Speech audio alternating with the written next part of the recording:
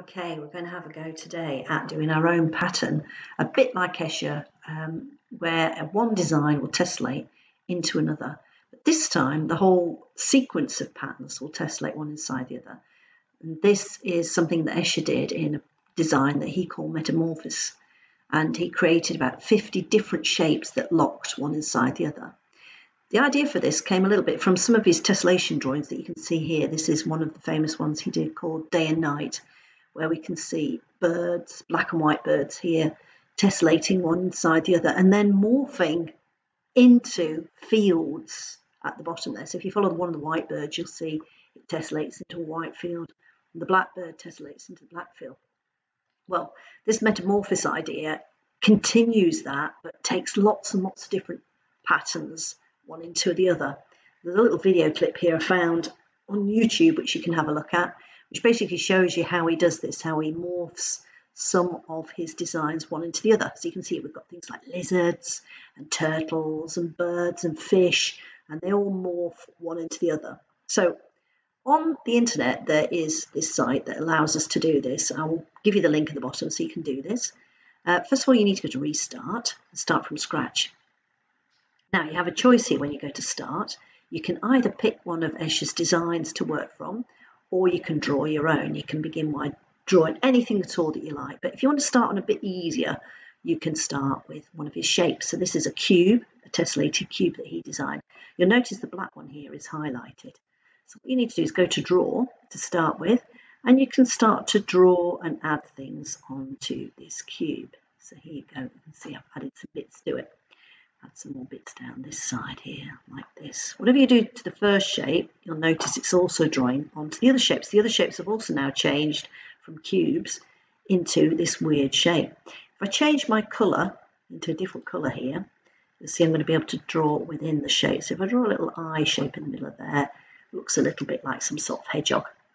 Go to the move tool now. What we can do is we can enlarge and shrink this design and also rotate it. So you can see we can now think about what are we going to do with our amazing shape that we've created. We can interlock it like this, or we can pull it out a bit more and move it around and think about where we're going to put this to make a pattern from.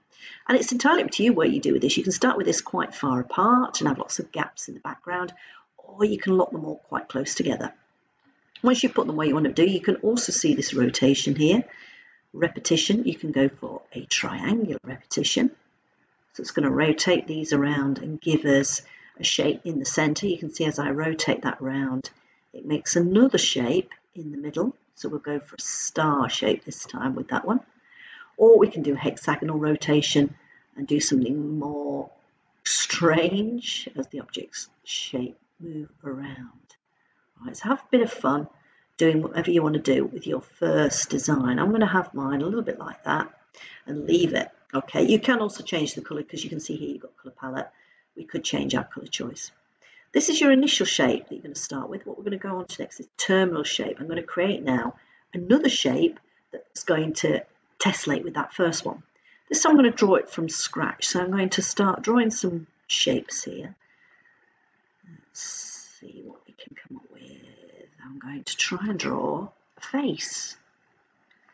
So I've got some eyebrows, a bit of a nose, a bit of a mouth there. That will do, I think, for a face for us.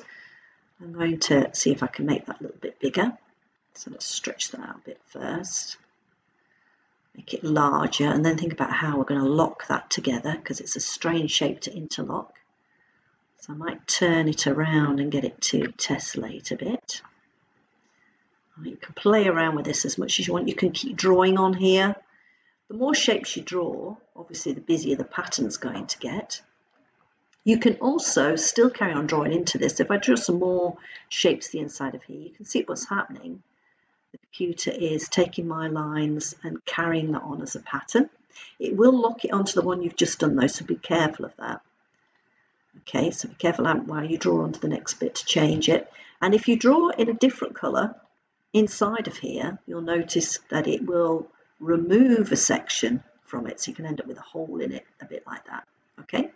You can make this design any way that you want, tessellate it and pattern it any, any old way.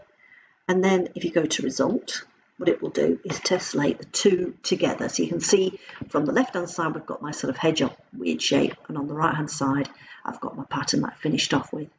Now you can carry on doing this, and you'll notice that it will interlink with the one that you've just done. If you press the publish at the bottom, it will put that onto the website with everybody else's. Apparently there's over 20,000 patterns on here already. But more importantly, this one will now tessellate into the one I just did earlier.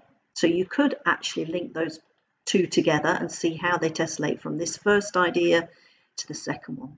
You can print these all off, you can stick them all on your wall, and you could end up with a huge tessellated pattern that goes around from one side of the wall to the other. Have fun, save it, share it, and let's see what we can create.